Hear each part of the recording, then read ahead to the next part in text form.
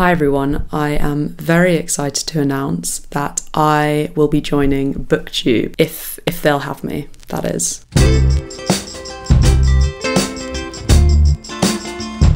Before we begin, uh, let's do a tea check. I've got my Princess Grey, which is like a more gentle version of Earl Grey, and I've got it in my moon mug. There is actually an owl, like an owl pair to this moon mug. That was really badly explained. I have an owl mug as well that is like that goes with the moon mug um, that I'll show you maybe next time, maybe in the next video that you're going to definitely watch. Um, not every video is going to be on books in the future, but I just want to sprinkle some in. I used to read so much, so much. I cannot, like, I literally, from the age of, I don't know, the age when I could start reading, I don't remember when, um, until the age of 13 or 12. I read so intensely. I actually was incredibly sleep deprived because and would often get like five or six hours sleep. So I know this is like incredibly bad for child development, but I would get very, very little sleep because I would stay up until like two in the morning on a school night reading books. And then when I reached 13, I just stopped. I've read the odd book, but genuinely, I read like a handful a year, maybe.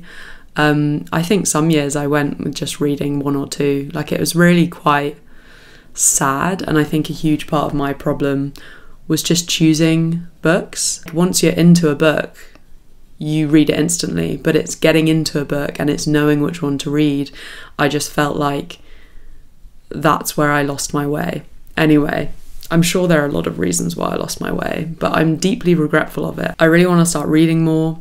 Obviously, reading's now fashionable, which is cool and exciting. But yeah, so let this video be a formal statement that I plan on reading more.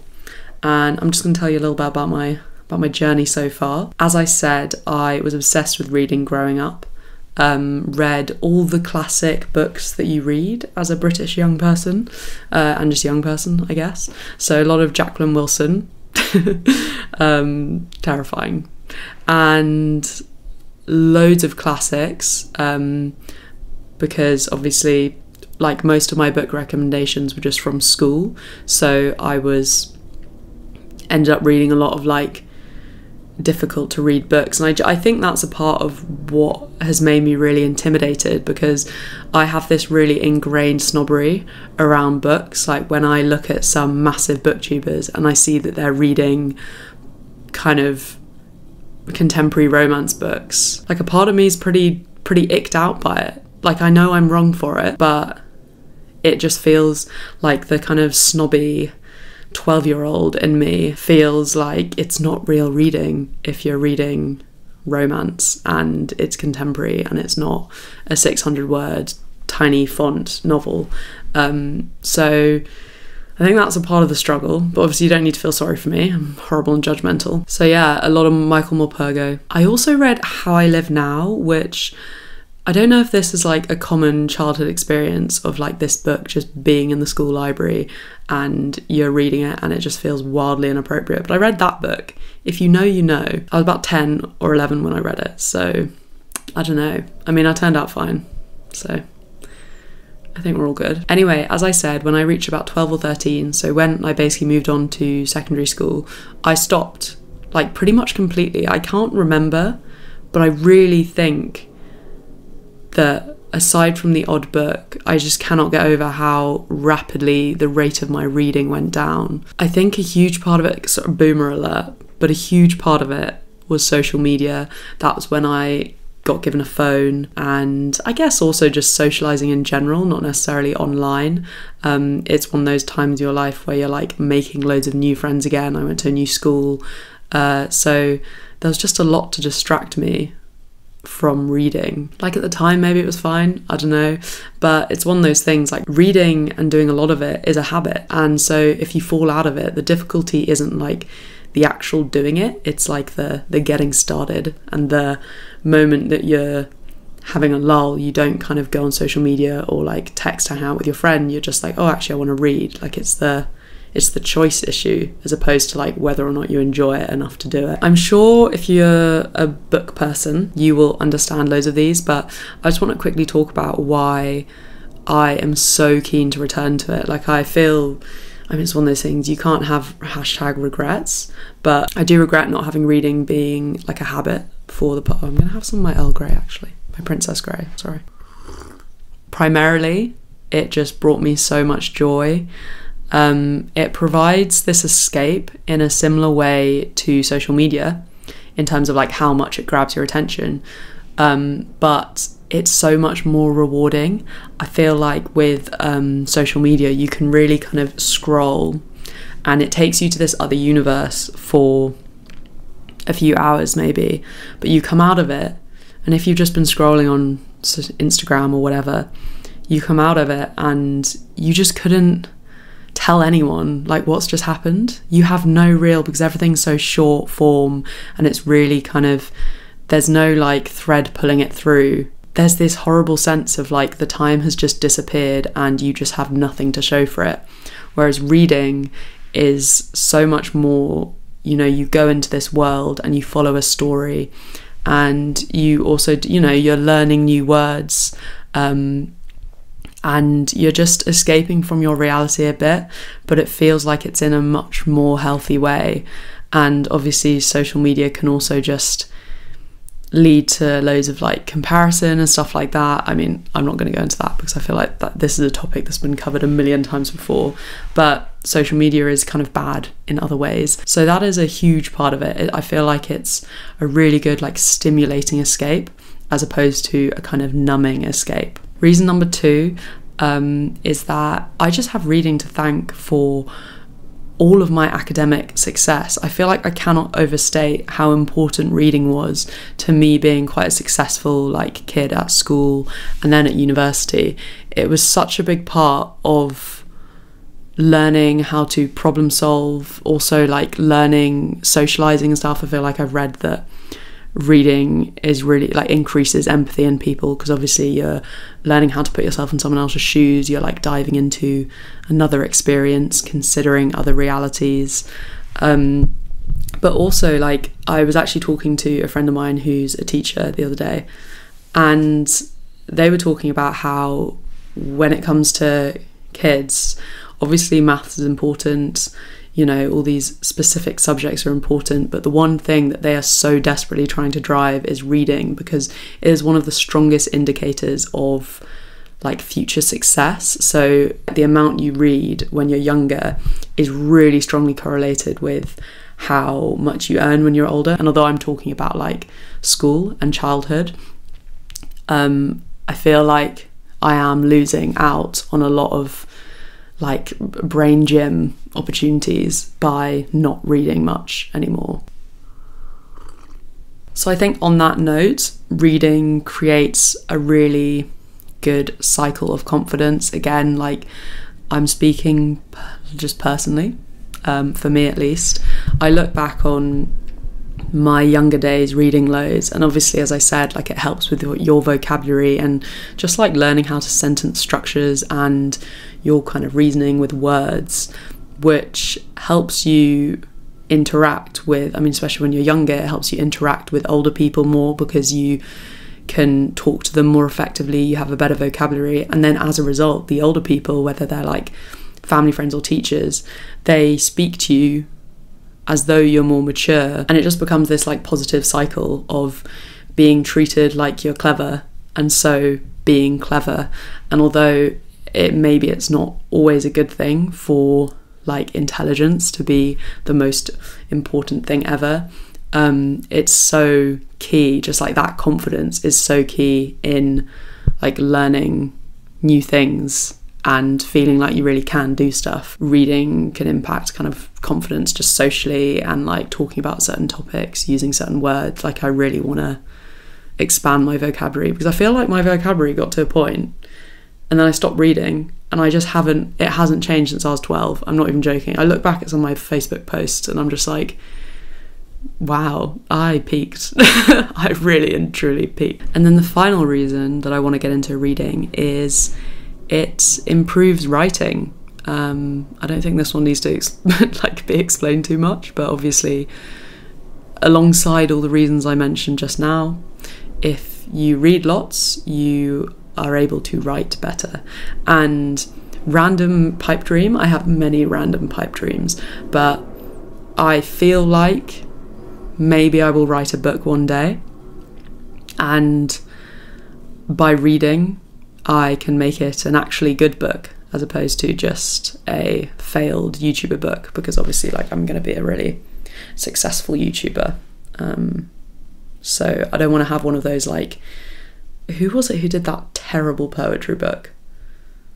Oh, I can't remember the name. Anyway, I don't want to do that. So, a little bit more detail on my recent history with reading. Let's take a look at Goodreads actually. So, I have read the odd book. Where is my Goodreads account? Here it is. Uh, I got a Goodreads account a few months ago. See, this this me wanting to get back into reading has really, it's been in the, it's been in the pipe.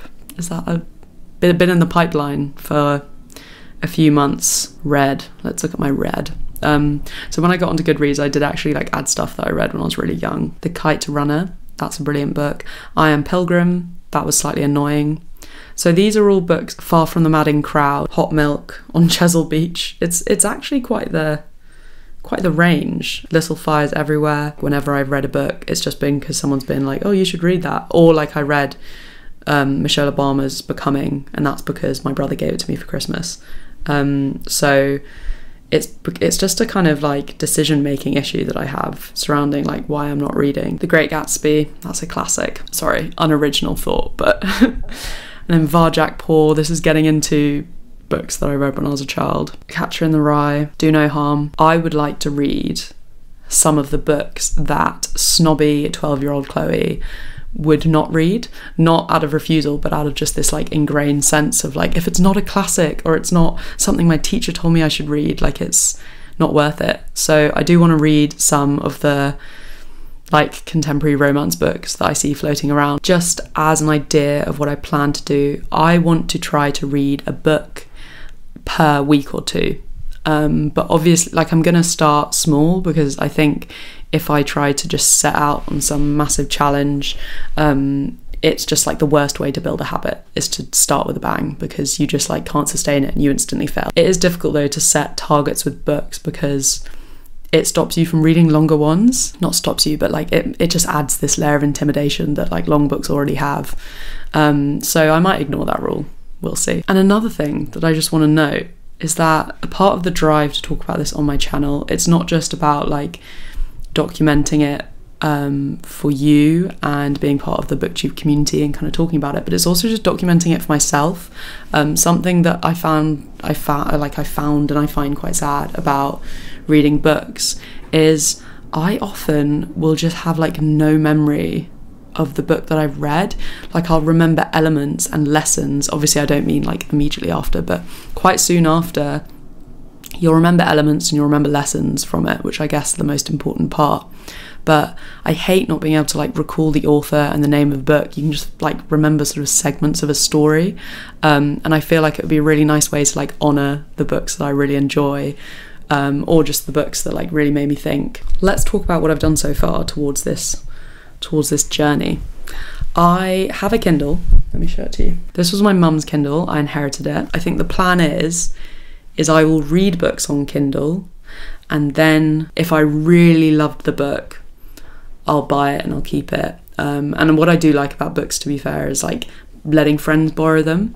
Although obviously they get lost in the mix sometimes when you do that. It's really nice to like be like, I recommend this book. Here, read it. Although I had someone do that to me with A Little Life recently, and I haven't been able to read it, and it does feel like a personal insult.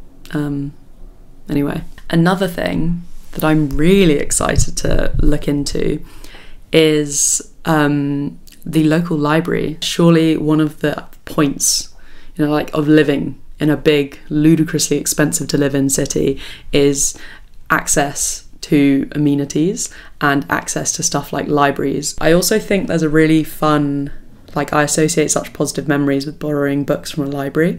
There's a really lovely ritual around it. um, you know, around like looking for that spine that you want. And like, I don't know, it's just this like cozy nerd girl aesthetic that I would love to return to. I also have a coat.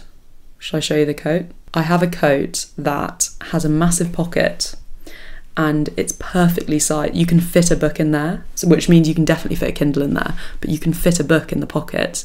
And it's this brown autumnal coat. Um, and I just, I've had it for a while, but I cannot wait to wear it and just be a book girly, as I've said, a big, big old book girly. So, if I'm being honest, that's my main motivator for joining BookTube. Question What are people's experiences with Audible? I am considering it because I love a good long walk and I feel like it'd be good for that. But then the structure seems really confusing. Um, like the whole, well, not really confusing, but it seems like not the simplest thing in the world. Uh, so that's just my my one gripe for you. And then finally, I have three books in the mix. So number one that I'm really excited to start reading. I've actually bought this one. Um, and it's getting delivered tomorrow. So I've bought the paperback. Is I'm Glad My Mum Died by Jennette McCurdy. I'm really, really looking forward to reading this one because um, it's an autobiography, which is very different, or a memoir. I actually don't know the difference. So it's very different to anything I've really read before as someone whose mum has died. It sounds like it's a very honest and but also like humorous book and I'm really looking forward to that angle. I feel like you have there's nothing quite like it in the mainstream. Although I appreciate like her relationship with her mum was incredibly bad. I think it will be a really interesting read. I also play this is quite random, but it was like on sale and everyone raves about it. I'm going to read Atomic Habits. I'm incredibly late to the bandwagon. I've already bought it now, so don't say anything if it's bad. Finally, I am considering reading East of Eden because it's obviously a classic, it's massive, and Unkali, a booktuber I like, she read it as part of like a reading Emma Chamberlain's favourite book video and she really enjoyed it. So, yeah, that's my uh, declaration, that's my promise. I'm becoming a booktuber. I'm going to be embarrassed if I don't end up reading, but I think I will. I think I'm getting back into reading. I think public humiliation will stop me from not. Um, anyway, let me know your book recommendations. Thank you for watching. I will see you in the next one. Goodbye.